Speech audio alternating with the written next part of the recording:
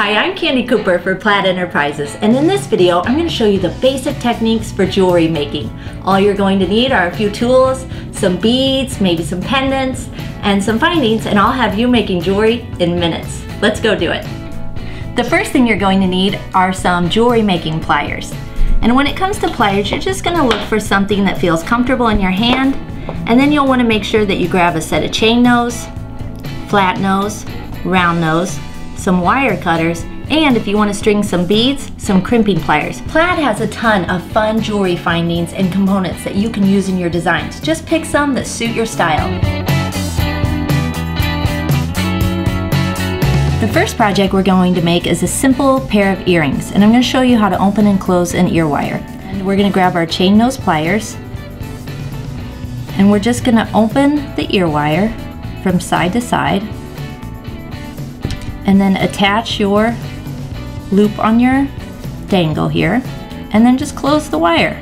I'm going to add a little sparkle by just dipping at the end of a paintbrush in Mod Podge, putting a dot down right there and using this tool to pick up my crystal and drop it into place. Let's add a couple more here.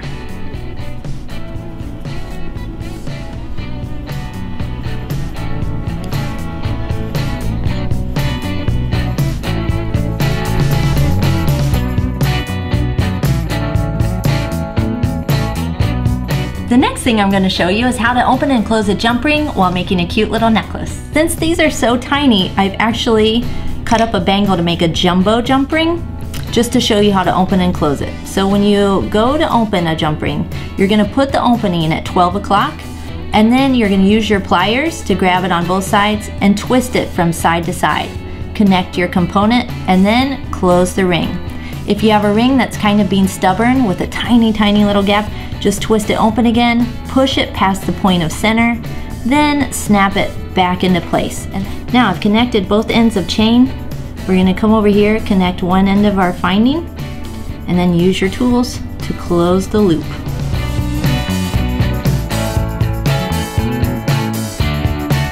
If you want to make a bracelet like this, you're going to need some head pins and some eye pins. I've got some head pins right here and some eye pins here. The eye pins are great for connecting charms like this. You just open them just like you did the ear wire from side to side. Then if you want to make a wrapped dangle like this, all you're going to do is string your bead onto the wire and you can do whatever you want. You just want to leave about a finger's width at the end, maybe a little bit more. This one I have plenty. And then you're going to grab the end and this time we're using our round nose pliers and make a bend just above the bead, leaving a little bit of space. Then we're going to come in to that little crook in the bend and wrap the wire up over the top. And that forms a perfect start to my loop.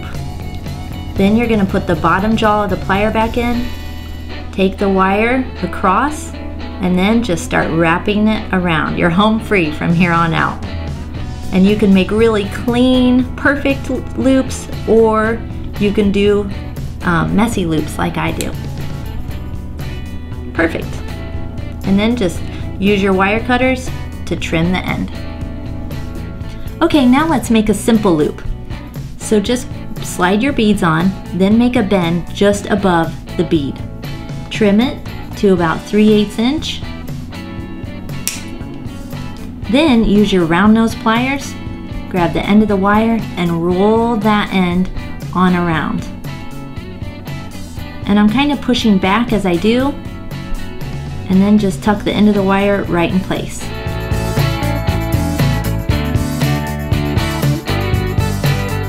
Let's talk about bead stringing. So I've gone ahead and picked out a couple of select strands and a focal pendant and started stringing them onto beading wire. You can find beading wire in the beading section of the craft store. Now, the next thing I did is just laid out a pattern and then strung them into place. And I'm using this Inspired Classics Monarch Butterfly Pendant. I love it. So now it's time to secure the end of the wire to the end of my chain here to finish off my necklace. And you're going to need some crimp beads to do this. So back to one of my jumbo examples here so that you can see really clearly what we're going to try to go for.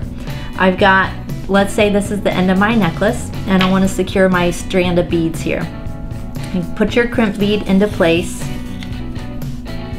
and slide it up next to your ring or your clasp or whatever.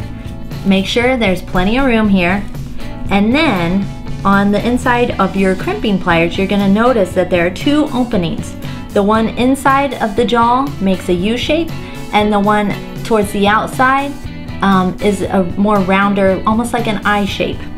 So we're gonna first put our crimp tube into the inner opening of the crimping plier. And we're just gonna smush that down and that's gonna give us our U shape.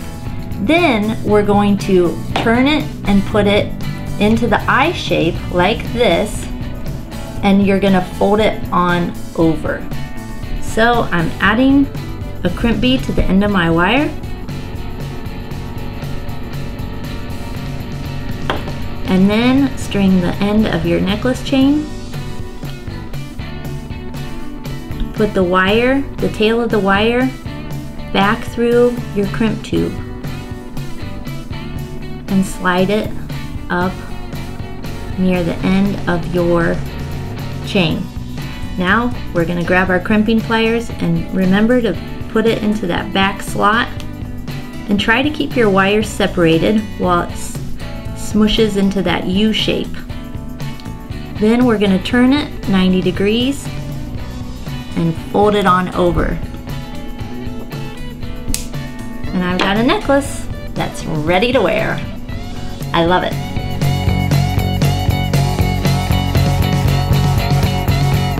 The last thing I'm going to show you is how to make a beaded bail and how to flat crimp. And I just strung them on the beading wire along with the pendant. Then I grabbed a crimp bead and passed the wires through. And when you pull out the slack, it creates a loop now to secure the crimp bead, you can crimp it traditionally like I just showed you, or you can go in with your chain nose pliers and just smush it down. And that gives you a nice flat connection. Now I've got a cute little pendant and I went ahead and prepped a chain here. It's a fun, easy gift that you can make.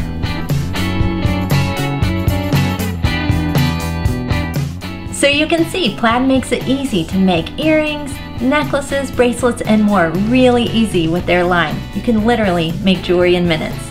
I'm Candie Cooper. I'll see you next time.